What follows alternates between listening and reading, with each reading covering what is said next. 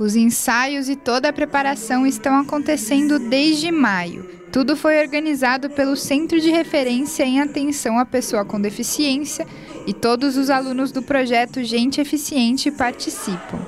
Além de terem gravado as músicas que vão ser apresentadas, eles também dançam e interpretam as falas.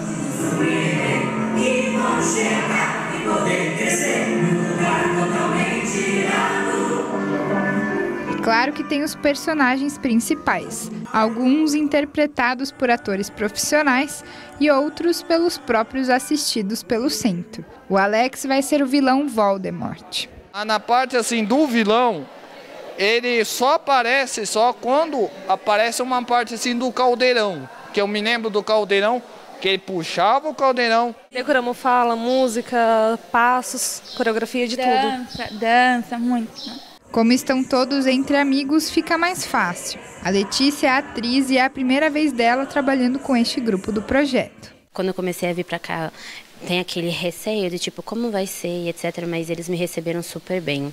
Então, foi assim natural a amizade e também assim eles são incríveis eles, o que eles estão fazendo sabe pessoas que não têm nenhum tipo de dificuldade não conseguem fazer esse tipo de coisa em cima do palco que eles estão conseguindo fazer então é incrível Todos os figurinos, cenários e elementos que remetem ao filme foram feitos nas oficinas do projeto Gente Eficiente. O projeto em si surgiu em 2006 e há seis anos existe a Oficina de Talentos. Um espetáculo é apresentado aberto para todos com o objetivo de mostrar o trabalho desenvolvido e também como estes alunos têm potencial. No projeto Gente Eficiente, nós desenvolvemos todas as atividades são voltadas para desenvolvimento de habilidade, autonomia, independência. Né? Então, nós temos aqui oficina de pintura em madeira, pintura em tela, costura, bordado, bijuteria, apoio pedagógico, educação física, aulas de informática né? e oficina de talentos. É superação, é muita superação, mas eles são muito competentes.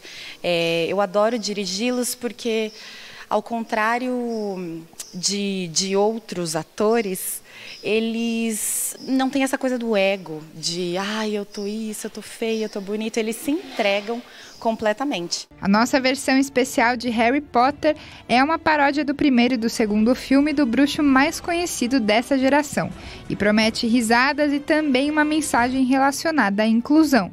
Todos esses musicais a gente sempre capricha, a cada ano a gente se esforça. Eu já assisti vários filmes, desde o primeiro até o segundo e terceiro. Eu, gost, eu gostei da, do filme. O musical vai ser apresentado no dia 20 de novembro, às 7h30 da noite, no CIAE. A entrada é de graça.